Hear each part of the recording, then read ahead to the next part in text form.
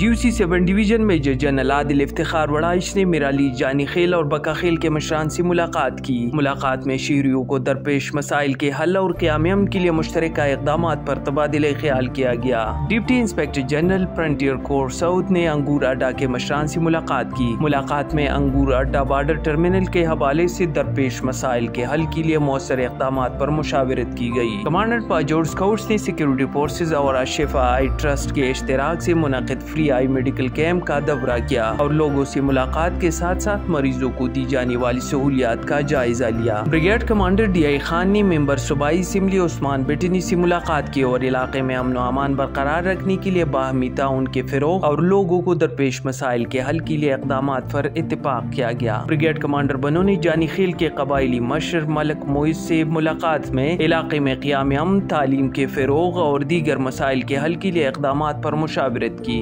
Commandant तीरा मलेशा ने वादी तीरा में जखा खेल कबीले के मशरान से मुलाकात की। मुलाकात में इलाके में पायदार अमन के क्याम के लिए मिलकर इकदाम करने पर इतफाक किया गया। लुर दिर के इलाके जामबटई में कमांडेंट दीर स्काउट्स के जेर क्यादत अमायदीन इलाका पर मुश्तमिल जरगा हुआ। जरगे में इलाके की तरक्की व खुशहाली के लिए इकदाम पर मुशावरत की गई और अगजई में सिक्योरिटी फोर्सेज के साथ इजारी यकजहती के लिए इलाके की आवाम की जानब ऐसी खसूसी रैली का अहतमाम किया गया, जिसमें शुरा ने बैनर्स उठा रखे जिन पर सिक्योरिटी फोर्सेस के हक में नारी दर्ज थे।